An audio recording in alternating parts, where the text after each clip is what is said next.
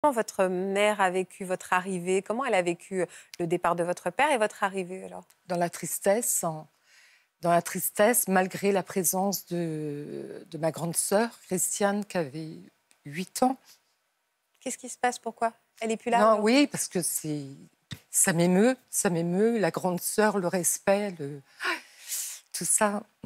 Et donc, oui, euh, oui, dans la tristesse et lors de l'accouchement, elle ne savait pas comment m'appeler. Enfin, je, suppose qu'elle n'avait pas réfléchi au prénom, etc. Et ce sont les religieuses qui l'ont accouchée qui lui ont demandé Mais comment s'appelait votre, votre époux? Euh, ben, Il s'appelait Émile. Hein. Ben voilà, il faut l'appeler Émilie. Euh, Comment vous le vivez aujourd'hui? C'est une fierté euh, parce que c'est un lien finalement. Au moins, vous avez ce lien-là avec votre père ou c'est difficile? Je pense que ça a été difficile. Euh, dans la jeunesse, je pense que ça a été difficile. Mais à la fois, je ne l'ai jamais exposé, je l'ai jamais dit. C'est, oui. Je m'appelle Émilie parce que. Voilà, ouais. C'est jamais. C'était alors après en grandissant, il y avait eu la comédie musicale, je crois. Donc là, je me justifiais en disant que ça n'avait rien à voir euh, avec ça. Euh, ça là, euh, les gens avec qui j'étais proche, je le disais, mes amis d'enfance le savent. Mais cette douleur, je pense que cette tristesse, c'est une douleur et une tristesse. je me suis nourrie de ça en fait, et qui a Vous avez grandi dans la tristesse. Ouais, je pense, je me suis nourrie et à la fois, je n'étais pas du tout triste. Hein. Euh, euh, j'ai fait du sport euh, très jeune. Je pense que ça a été libérateur un peu pour moi. j'ai fait du sport et donc après le chant d'équipe, tout ça, ça fait que non, non, c'était mon ressenti le soir au coucher, ce lien invisible hein, avec mon père que j'idolâtre. Vous l'idolâtrez? Ouais, ouais. Pour quelle raison? Je suis entièrement d'accord. Comment? Je suis entièrement d'accord avec ce C'est-à-dire? Bah parce que pour nous, il ne peut pas avoir des points négatifs. Bah on vous a raconté, j'imagine aussi, on vous raconte que des choses positives. On ne va pas tout d'un coup, euh, euh, enfin, à part le fait que votre père était têtu, Virginie, mais euh, vous, pourquoi vous l'avez idolâtré? Pourquoi ce mot, Émilie? Je l'ai idolâtré tout le temps. J'ai toujours entendu ma grande sœur dire qu'il était tellement gentil, que c'était vraiment un brave, un bienveillant, qu'il était euh, formidable. Maman m'a toujours dit, euh, euh, ah, tu sais, ton père, il était gentil, il était poète. Enfin, il n'y a, a, jamais eu de consonance négative, jamais.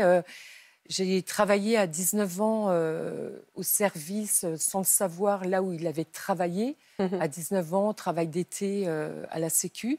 Et je mmh. suis tombée voilà, sur. Euh, C'est pas une pression supplémentaire qu'on vous met quand on on, on, met, on porte au nu comme ça un homme. Est-ce que vous vous sentez pas investi d'une mission, de la mission de lui ressembler? Je me suis sentie euh, l'envie de vivre pour deux, son sang qui coule dans mes veines. Euh, je dois lui faire honneur dans. voilà. Oui, alors après, sont toujours évidemment, vous avez des souvenirs reconstruits, c'est ça qui est difficile. Hein. C'est très dur parce que ce ne sont pas vos souvenirs. Donc ça, c'est difficile. Et évidemment, on a envie, et c'est bien d'avoir ces souvenirs positifs. Après, vous savez bien que quand on devient adulte ou quand on grandit, il y a une phase un peu d'opposition aux parents. Hein. Et ça, vous pouvez pas vous autoriser euh, d'agressivité avec lui, c'est pas possible. Même pas de lui en vouloir de ne plus être là ce qui pourrait, hein, ce que vous pourriez avoir de façon inconsciente en vous. Et puis, euh, quand on grandit, parfois il y a de l'opposition.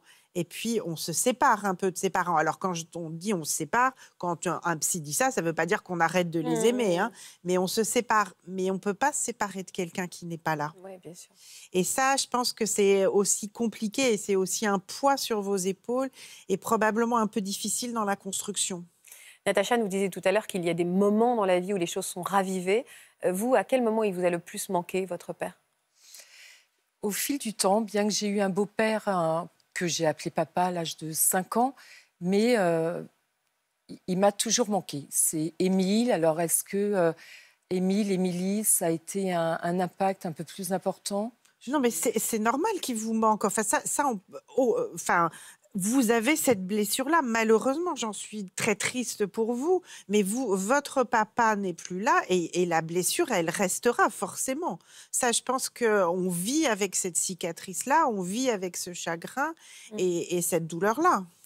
Euh, ce drame que vous avez vécu s'est répété après dans votre famille. Pour, à, quel moment et avec qui? Oui, voilà. Donc. Euh, j'ai passé une adolescence, euh, somme toute tranquille, sportive, un peu rebelle, je pense, pour le coup de nous trois, j'étais un peu plus euh, la rebelle avec mon père. Euh, je disais, mais euh, quand il voulait me gronder, je dis, mais t'es pas mon père, t'as rien à me dire, voilà.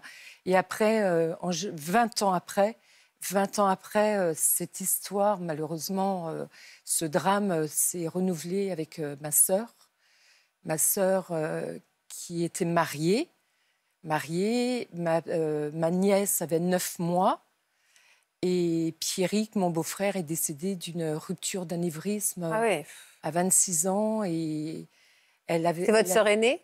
Ma sœur aînée ah, qui s'est beaucoup, beaucoup occupée de nous. Euh, ah beaucoup, elle nous gardait à 10 ans, elle nous gardait. Euh, euh, voilà, elle s'est beaucoup. Vous n'aviez pas eu encore d'enfant, vous? Je n'avais pas eu d'enfant. Ah oui, donc vous avez eu peur forcément. Alors, ouais, non seulement de vivre ce drame, ça a été très dur pour maman, ma sœur, moi, et après l'enterrement, après tout ça, j'étais dans le euh, l'expression jamais 203 n'a jamais été aussi euh, réelle qu'à ce moment-là de ma vie euh, et je l'ai touché du doigt. Là, oui, là j'ai cru. j'ai cru qu'il allait vous arriver la même chose. Ah oui, j'ai cru. je pensais être veuve d'ailleurs. ouais, ça m'a traîné.